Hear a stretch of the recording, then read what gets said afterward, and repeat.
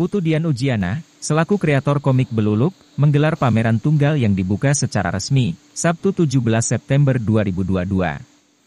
Pada pameran yang mengangkat tema, Pakedek Pakenyem Pawisik, Putu Dian berkolaborasi dengan Teh Ambengan Tenten Art Space yang berlokasi di Jalan Imam Bonjol, Denpasar, Bali.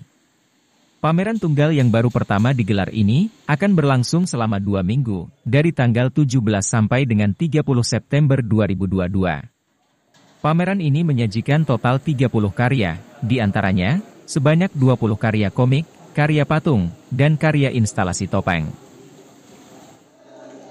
Ditemui di sela pembukaan pameran, Putu Dian mengatakan, tema Pakedek Pakenyem Pawisik ini diambil karena dirinya ingin mengajak para pengunjung, untuk bisa ikut Pakedek Pakenyem atau tertawa bersama-sama setelah melihat karya-karya yang ditampilkan pada pameran ini. Hal itu kata dia, karena setelah sebelumnya selama dua tahun terkungkung dan sempat down akibat pandemi COVID-19. Sebelumnya perkenalkan dulu, nama saya Putu Dian Ujiana, saya dibalik kreator dari komik Bluluk ini. Kali ini uh, saya berpameran tunggal yang bertemakan tentang Pakedek, Pakenyem, Pawisi. Ya, di mana saat ini pameran ini bekerja sama atau berkolaborasi dengan Tat Art Space yang nantinya akan apa namanya diselenggarakan selama dua minggu sampai tanggal 30. Mengambil tema ini Pakedek Pakenyem Pawisi ini, jadi begini Eh, saya berharap pengunjung atau audiensi dan saya sendiri bisa saling pakedek pakenyem itu loh istilahnya setelah sekian lama melewati masa-masa pandemi mungkin sedang apa namanya down seperti itu. Sekarang refresh lah. Ayo uh, menikmati komiknya Blue di sini agar saling pakedek pakenyum seperti itu.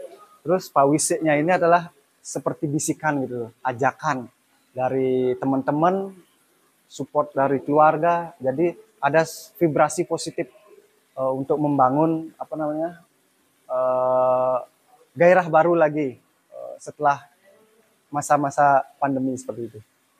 Harapan untuk kegiatan ini ke depannya mungkin agar berkelanjutan ya, karena uh, dilihat dari antusias pengunjung dan teman-teman sangat tertarik sekali melihat komik Blue ini karena di setiap apa namanya pameran atau di setiap karyanya memunculkan hal-hal yang baru seperti sesuatu yang lagi viral saat ini dikemas dalam bentuk komik seperti itu.